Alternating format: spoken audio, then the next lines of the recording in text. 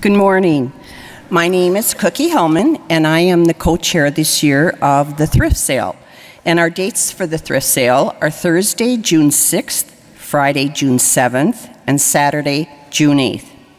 Last year, we made over $42,000 for the church, and we hope to surpass that amount.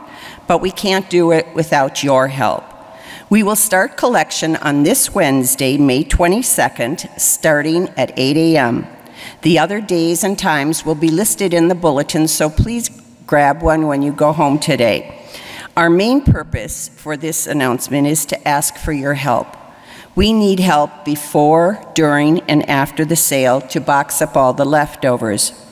If you have a bad back or sore knees, we need you. We have jobs for you. We have cashier jobs or sorting jobs.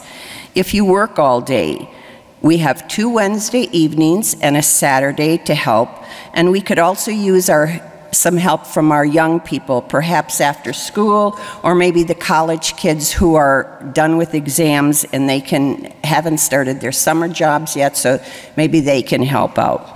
And we also need bakery items. You can start now, put them in the freezer, and bring them the days of the sale. I'm going to be there at the end of church, at the back of church today for you to sign up. And I just, again, I'm asking for all of your help because this is our family, and without your help, we can't make this sale successful. So thank you and have a great day.